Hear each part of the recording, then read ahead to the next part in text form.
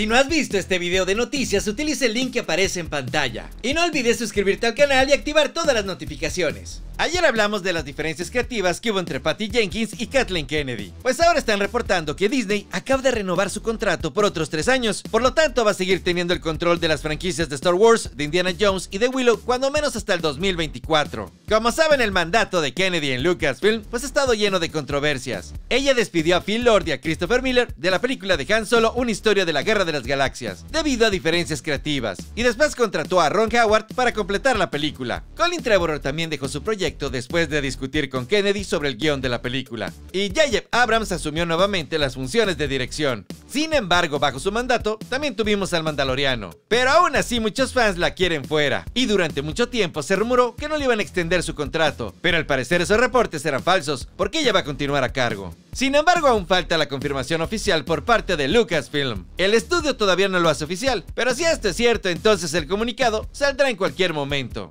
Y en el universo de superhéroes tenemos nuevos detalles sobre la película del Capitán América 4. Recordemos que esta fue anunciada poco después del estreno de la serie de Falcon y el Soldado del Invierno, y desde entonces no se había dicho nada. Sin embargo, Nate Moore, uno de los productores de la película, compartió algunos detalles sobre la trama, y explicó que Sam Wilson va a tener que demostrar su valía como el Capitán América, y de una manera compara a Sam con Rocky. Porque al igual que Rocky en sus películas, este nuevo Capitán América va a ser el desvalido en cualquier situación, porque no es un super soldado, tampoco tiene 100 años y no tiene a los Vengadores, cuando menos al principio. Y recalca que a diferencia de Steve Rogers, pues Sam no tiene poderes, y eso lo pone en desventaja.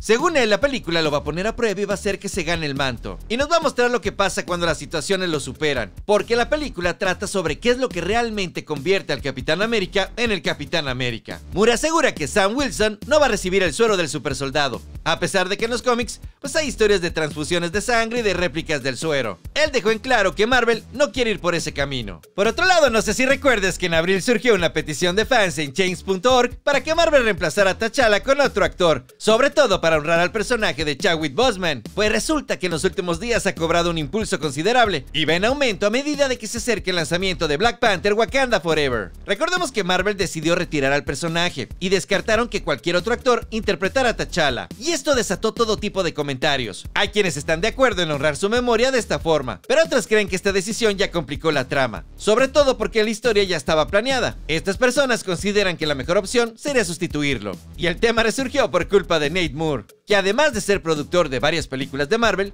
él es el vicepresidente de desarrollo del estudio. Él acaba de recalcar que Marvel no tiene ningún interés en buscar a otro actor para que interprete al personaje, y que ya encontraron la manera ideal de solucionarlo. Lo curioso es que su declaración dice que no vamos a ver a T'Challa en el UCM 616, y aseguran que no pudieron reemplazarlo porque aseguran que gran parte de T'Challa está ligado a Chadwick Boseman. Como lo dije, lo que más llama la atención es que Moore se refiere al UCM como el universo 616, y esa denominación es del universo principal en los cómics. El UCM siempre ha tenido una diferente denominación, pero con el multiverso expandiéndose el nombre exacto del universo central pues está en duda. Y sin duda esto podría ser un problema para otro momento, pero por ahora establece la posibilidad de que el multiverso permita que una versión diferente de T'Challa llegue al mundo del cine y la televisión. Pero por ahora parece que Marvel no lo hará. De hecho, no se sabe con exactitud quién va a tomar el manto de Black Panther. Hasta ahora se han mencionado muchos nombres. Entre ellos está el de Suri, Okoye y Eric Killmonger. Pero los últimos rumores aseguran que el nuevo Black Panther será en Baku, que es el personaje que fue interpretado por Winston Duke. Supuestamente esto no va a suceder al principio. Primero varios personajes van a llevar el traje momentáneamente durante la película, y después se lo va a quedar en Baku. Hay que recordar que en la primera entrega ya lo intentó, pero terminó perdiendo ante T'Challa. Pero aún así al final se comportó de una forma bastante honorable.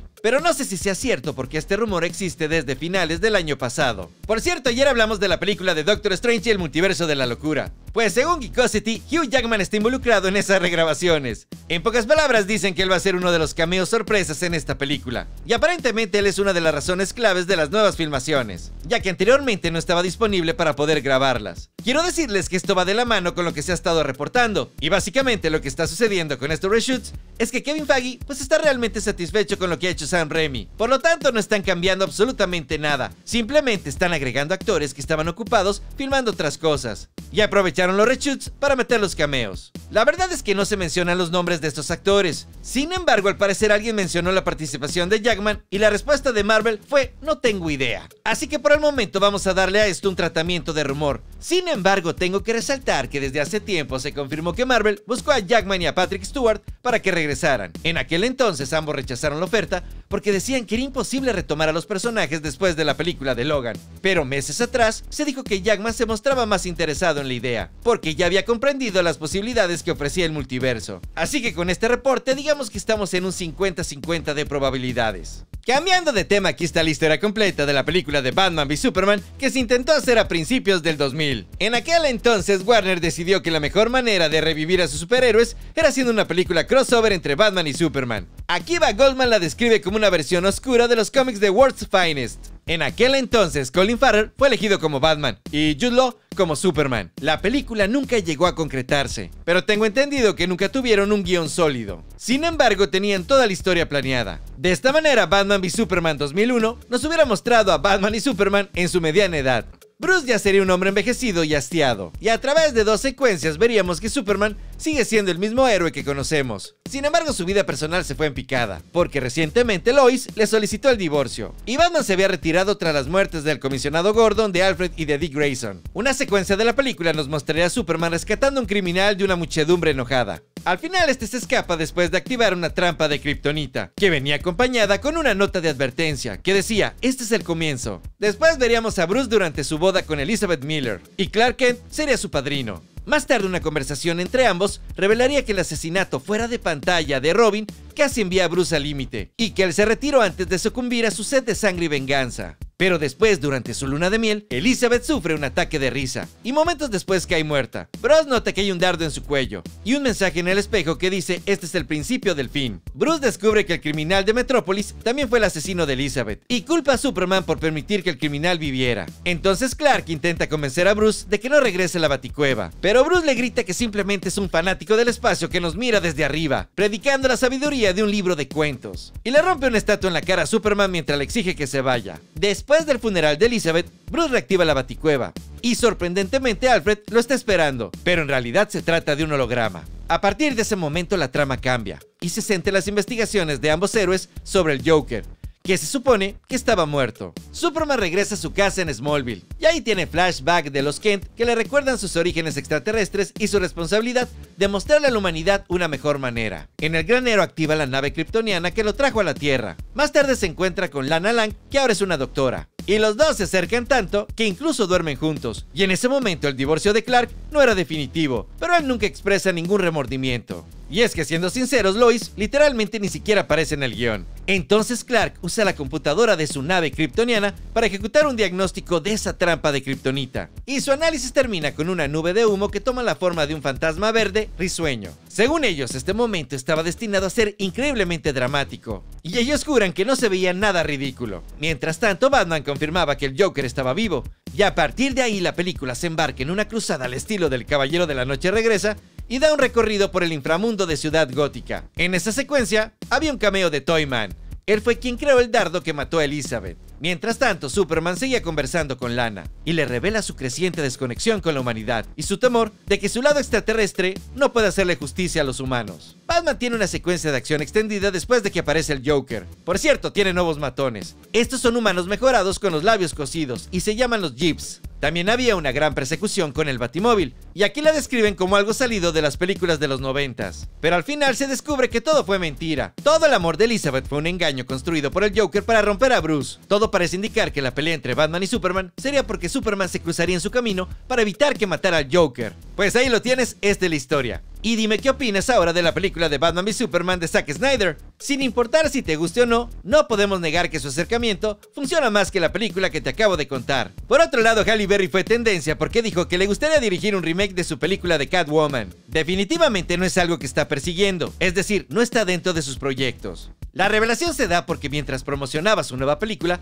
le preguntaron si había alguna película en toda su carrera que quisiera rehacer con la experiencia que tiene ahora. Y ella rápidamente contestó que le encantaría dirigir la película de Catwoman. De hecho, dijo que le gustaría rehacer su propia película. Señaló que le gustaría transformar la historia para que sea más riesgosa e inclusiva.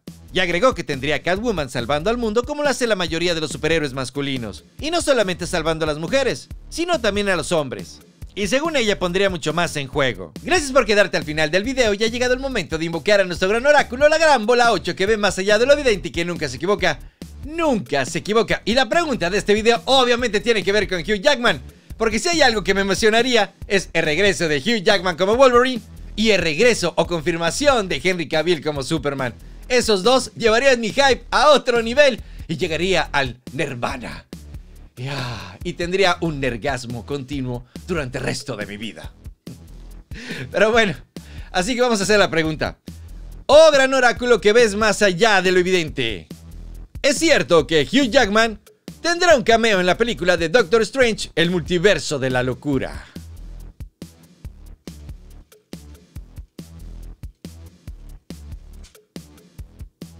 que le pregunte otra vez, diablos. Oh, gran oráculo que ves más allá de lo evidente. Hugh Jackman tendrá un cameo en la película de Doctor Strange en el multiverso de la locura. Y la respuesta de nuestro gran oráculo es... Ah, no, no cuentes con ello. Ah, no cuentes, estaba seguro que iba a decir que sí, pero bueno, nuestro oráculo trabaja de formas misteriosas y nunca se equivoca. Así que, bueno, pues nos vemos el día de mañana porque en este canal siempre hay noticias. Y aparte, tenemos que hablar de ese tráiler de Spider-Man. Posiblemente saque otro video en el momento que salga el tráiler. Pero en el momento que grabé este video, todavía no salía. Así que el show debe de continuar. Y recuerda que en el día más brillante, la noche más oscura, ninguna noticia escapará de mi vista que aquellos que aún no conocen el canal se suscriban a él. Sean geniales unos con otros nos vemos mañana o a rato. Hasta luego.